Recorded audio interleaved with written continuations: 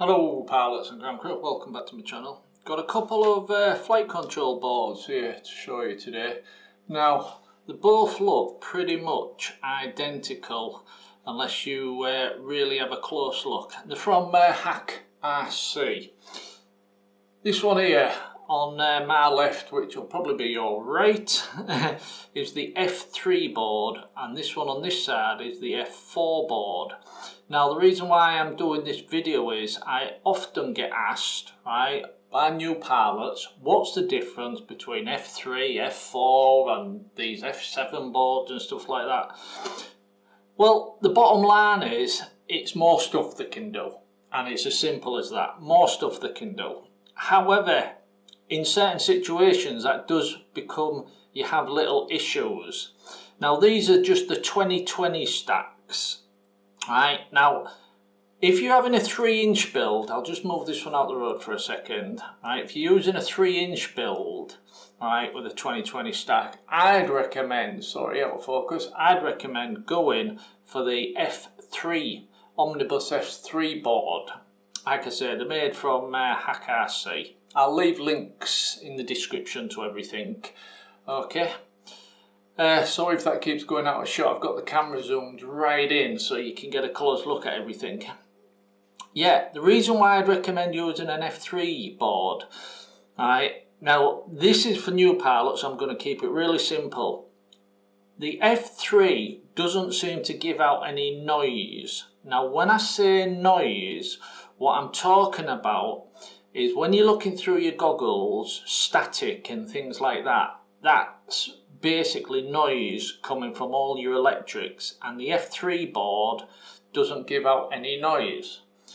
Now if you compare it to an F4 board, right, that will give out noise. So it's recommended you use something like a little capacitor, right, to help reduce the noise or even stop the noise completely. However, these are designed for small little quads and this 25 volt capacitor in ideal for it. Ideally you want to be using a big bugger like that, a big 35 volt capacitor if you can get it in your model somewhere. If you can't, use a small one because anything is better than nothing. Right, let's just zoom out a little bit here, wrong way. Just so I can uh, explain a couple of these side by side differences. This is a new one by the way and if you think that looks a bit tatty that's because that's the old one. Alright, and I'll explain why I've changed. Now the main difference is, let's see, let's just take you through the F3 board really quick. Alright, Betaflight OSD comes with it sorted. On this side you plug in your receiver, this side a buzzer. Alright, at the back here or actually, yeah, at the back here, right, you've got a little JST right, connector here, which you'd connect up to your ESC 4-in-1. On the front is where you'd connect up for your camera, your VTX, and uh, well, that's it really. Your camera, your VTX. Uh, I'm sure there's something else. Camera, VTX. No, that's it. Yeah, your camera and your VTX and there's two little soldering pads, TX1, RX1, and uh, that's it. That's as much as this board will do basically. It won't do anything else. And that's the F3, right, which is a basic board. However, like I say, it's very good with noise. And I've explained noise, so I'm not going to go through that again. Alright, now if we move on to the F4 board, Oops, if we get it in shot. Once again, right, you've got uh, your S-bus connector, right, which this will also run off iBus. You've got your buzzer, but also LEDs. Right, obviously you connect this stuff up yourself, it don't come with all them things. Right. Oh, it's compatible with, oh, what's it called nowadays? Um, a barometer. It has a barometer, right? So you can set it up with iNav. So you could put this in a plane, whereas that one you couldn't. But you could put this in a plane because it has a barometer and iNav. You could use the barometer in a quad, but more than likely you're going to use it in a plane. Uh, on the opposite side, with the, this part here is exactly the same. I'm, I'm sort of jumping a bit in my words because I'm trying to keep the words sort of like clear and simple for new pilots. Right, this part here exactly the same as the last one. Right, it's where you'd connect up your uh, ESCs, your 4-in-1 ESCs, and it, you'd use something like this, a little silicon wire. Right, but where this board differs from the first one, if I turn it over, right, hopefully you can see there, if I, will it go into focus? Come on, go out a bit. Yeah, you can see a, a little uh, built-in pin port. Right, so if you're using an ESC board, compatible ESC board, where so preferably another HAKRC, right, you can plug that straight into the 4-in-1 ESC, so you're not using any cables at all. Also with this uh, F4 flight control board you have a whole stack of options. You have your TX and your RX, exactly the same as the F3.